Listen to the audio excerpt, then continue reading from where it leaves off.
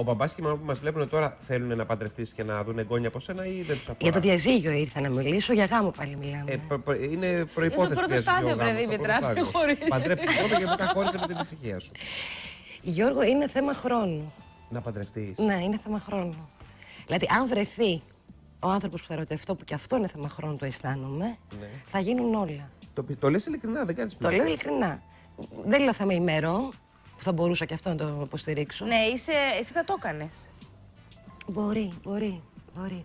Τώρα ξέρεις με αυτό το έργο που κάνουμε και που μιλάμε για σχέσεις ανθρώπων που έχουν παντρευτεί, ας πούμε, και έχει και ένα τέλος που ε, μιλάει για την ουσία των σχέσεων και το πόσο σημαντικό είναι να έχεις έναν σύντροφο ζωής.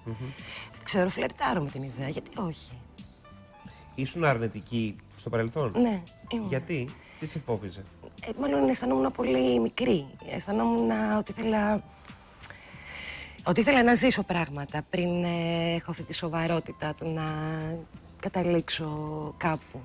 Κάπως έτσι. Που θες να κάνεις και παιδιά και τα λοιπά, τώρα δεν είσαι σε τέτοια φάση ζωής σου; Δεν θα ήθελα να κάνω παιδιά αν, αν δεν είναι αυτή η φυσική μου διάθεση. Δεν ήμουν από τα κορίτσια αυτά που ονειρεύονταν Τρελαίνεσαι την όμως για τα μητρότητα. Ναι, αγαπώ τα παιδάκια των άλλων. Ε, αλλά ε, α, μόνο αν ερωτευόμουν πάρα πολύ και υπήρχε μια αμοιβαία διάθεση για παιδί θα το έκανε. Και κυρίως αν υπήρχε διάθεση από τον άντρα, γιατί εγώ δεν έχω αυτή την Ναι. φυσική Αν βρει όμω επιθυμία. έναν άντρα να στο εμπνεύσει, ρε παιδί μου, εκεί δεν θα έλεγες όχι. Ναι, αρκεί να συμβεί μέσα στην επόμενη δεκαετία. Εντάξει, ρε Δήμητρα, έλεος. Ναι. Όχι, είπαμε, ναι, είναι θέμα, είναι θέμα χρόνου πια. Είναι θέμα χρόνου. Τέλεια.